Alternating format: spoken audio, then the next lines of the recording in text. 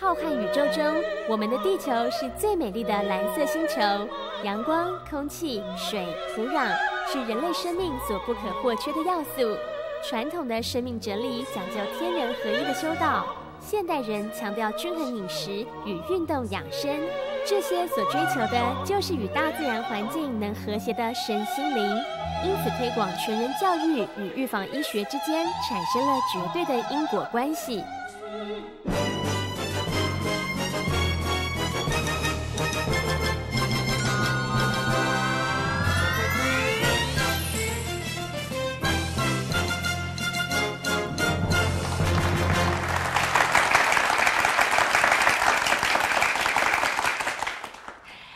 好，我是周慧婷，欢迎来到今天的全民大讲堂。健康跟养生呢，是现代人相当注重的观念啊。那么，要想要拥有健康的身体，除了过去我们所认知的啊，要拥有健康的生活起居啦，还有这个要适当的运动、健康的饮食等等。现在呢，开始有这个医学哦，还有这个科学的研究呢，显示说，人类的正向意念呢，它所带来的能量，居然大到足以改变我们周围的环境还有物质的状态。而唯有我们周围这个环境呢变得健康了，我们才可能真正得到健康的身心灵。我们今天所邀请到的这位来宾，长庚这个生物科技董事长杨定一博士呢，过去就一直在致力推动这样的一个观念哦。那么今天他来到现场，要跟我们讲的是这个身心灵医学的全人教育。我们欢迎杨定一博士。杨博士生于台湾，七岁移民巴西，十三岁以全国第一名的优异成绩考上巴西医学院，二十一岁取得纽约洛克菲勒大学生化博士及 Cornell 医学院医学博士。二十七岁担任洛克菲勒大学分子免疫及细胞生物学系系主任，在此期间，在国际期刊上共发表过三百多篇医学相关领域的论文，并于一九九六年获得美国自由神奖章，被列入美国国会纪录。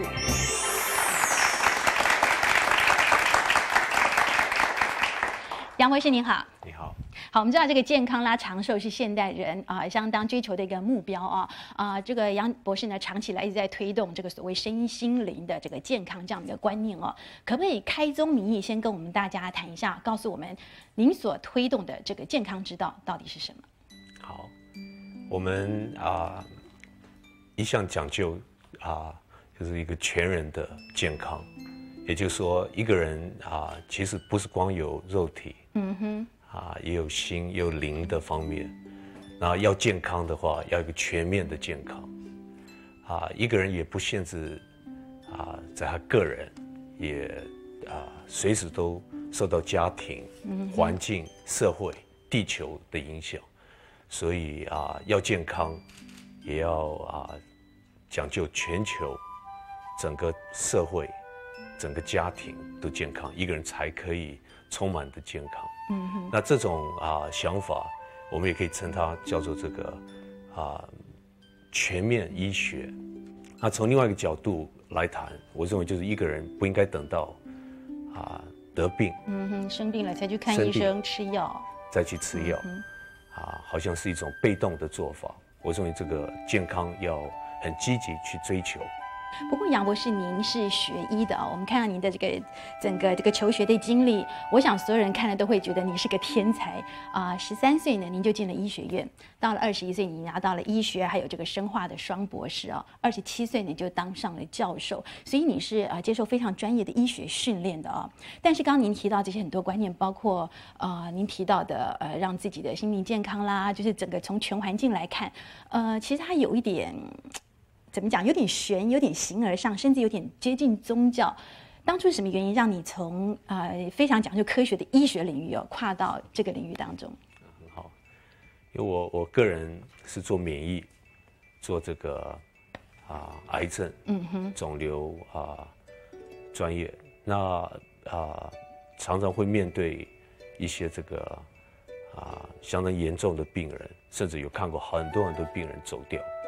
那从我个人的看法，啊，我认为我们的西医目前发展虽然很很了不起，在技术上，在科技有相当多的突破，但是还是总是让我感觉他没办法啊解决一个人的全面的健康。所以你并没有推翻现在说的西医的观念，对不对？没有，不光没有，我认为要啊，我们需要采用，而且呃啊，甚至就说我们样样所啊推荐的啊推广的都离不开科学。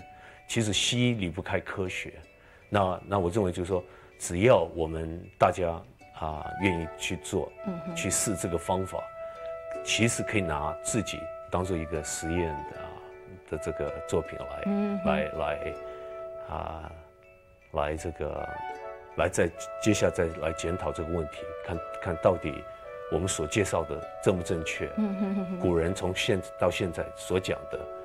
啊，是不是有它的道理？嗯，那我认为只要去做，都会发现，啊，这种方法也是古人古老的最古老的方法，它其实会带来健康。嗯哼，所以它跟任何医学、科学、宗教、哲学都没有产生冲突。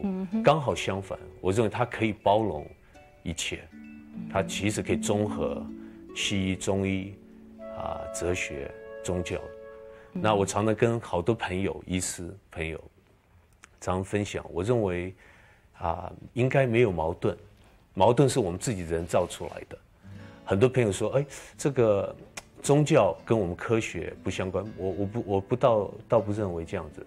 假如我们科学发达到一个程度，它应该包容一切，甚至包括哲学，嗯包括这个宗教，啊，完全没有任何矛盾。所以你强调的身心灵，这整个甚至包括教育在里面，其实占了非常重要的一个角色，对不对？是。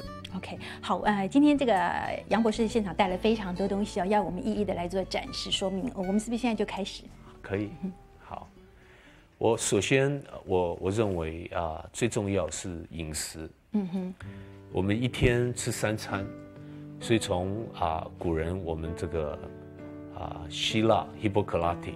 就是这个西医的，嗯，称他上司或者是主席人啊，啊，他当时就提到说说，把希望把这个三餐的饮食当做你最好的药品，嗯哼，啊，那我感觉这也是一种，也是个尝试，但是我们要也要稍微对 有点困难。你看我们现在吃的饮食啊，这个油炸类的东西啊。啊，都有太多，然后都不均衡，所以我们一个中心的理念是均衡，倒不是劝大家非要吃素，非要怎样不啊不可就，其实就是均衡。那均衡也离不开科学。那从我们这个金字塔就可以看出来，嗯哼，这是我们的增援的金字塔，我们最讲究的还是微量元素跟这个维生素还是离不开。它是在我们身体啊占的比例是最最最最少，嗯，但是在金字塔你看排的最高，最重要，最重要，因为我们身体没办法制造矿物质，但是你看我们多年来这个土壤很多很好的矿物质已经稀释了，啊，已经已经啊这个可以讲说就是流逝了啊，流逝了，那现在都吃不到，本来我们人体需要是九十。多个元素，九十二、九十三个元素，今天在饮食啊，真的可以找到不到二十三十个元素，很多微量元素都吃不到。所以，首先元素最重要。那接下来这个蛋白质，蛋白质我们的看法不一定要吃那么多。我们人大家的习惯现在吃太多了，尤其在中年不再成长的时候，吃多了太多蛋白，尤其吃肉类的蛋白质。它带来很多负面的作用，比如说这个在消化没办法完全可以排排出来，一些这个发酵的一些一些一些留下来的东西，那那这样子的话流到身体里面，这些会继续污染身体。这个三餐的饮食当做你最好的药品。